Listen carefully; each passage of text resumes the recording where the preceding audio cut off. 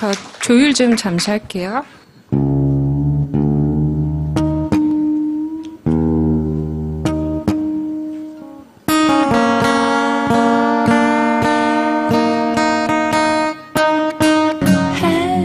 지고 밤은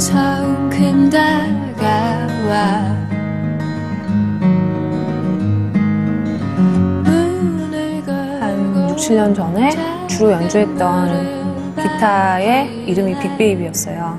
그러니까는 뭐 모모사에서 나온 그 기타 메이커가 있고 거기서 나온 모델 이름이 빅베이비였는데 어, 어린이를 위한 기타 중에서 제일 큰 기타였어요. 그 기타에서 이름을 따왔고요. 네, 그 기타를 연주하는 사람 그 정도로 예, 봐주시면 될 것 같아요. 기타를 들고 그 편하게 기- 일단 연주를 하다가 생각나는 종류의 단어나 그때 기분 같은 것들로 이렇게 멜로디와 가사를 함께 불러요. 그리고 그게 이제 나중에 좀 더 발전된 형식인데요. 밖으로 나가는 방법이 있고요. 안으로 들어오는 방법이 있고 아마 결과는 똑같을 것 같아요. 저는 아무래도 이건 아닌 것 같아요. 그리고 그랬던 적도 없었던 것 같고요.